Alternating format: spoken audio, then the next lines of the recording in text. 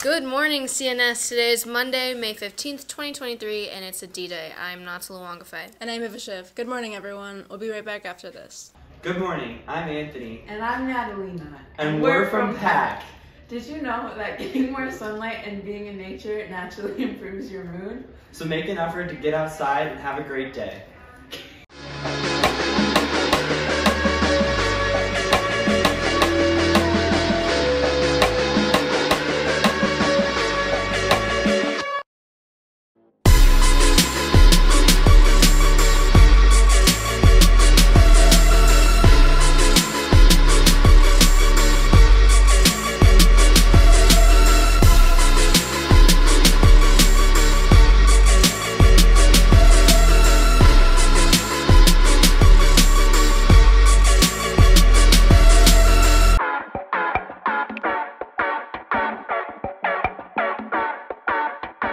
Tickets for the CNS Talent Show are now on sale in the cafeterias for $7 general admission and $10 reserved.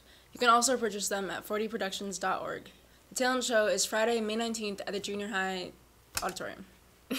Attention all students, today is the last day to check out library books. In the senior survival guide, there are two permission slips that need to be filled out and turned in before May 25th. Please turn in the graduation walk form to the main office and please turn in the senior picnic form to the House 1 office. Turn them in ASAP.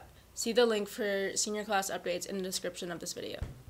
Attention all business club members. Your final meeting and year-end celebration will be held Tuesday from 2 to 3 in the LGI. The list of volunteers for this year's Special Olympics is posted outside of room 214. If your name is on the list, please stop in room 215 between classes only to grab an info sheet. Because of the overwhelming response of over 400 applications, this year's volunteer group is made up entirely of seniors, with the exception of a few juniors who are requested for specific jobs by the Special Olympics staff. Attention marketing work study students. As the year starts to wind down, please turn in your pay stubs for work study credit to Miss Y or email them ASAP. And now here's Email with Sports. CNS Girls Lacrosse looks to win their eighth straight tonight at home against the Hornets of FM. Game starts at 7, and if you can't make the game, catch it on Team 1 Sports with Johnny Lisi and Hunter Kajushka. Boys Baseball travels to Baldwinsville to take on the Bees for an important league matchup. After winning their last game, CNS looks to turn around their season and finish strong. Good luck, boys.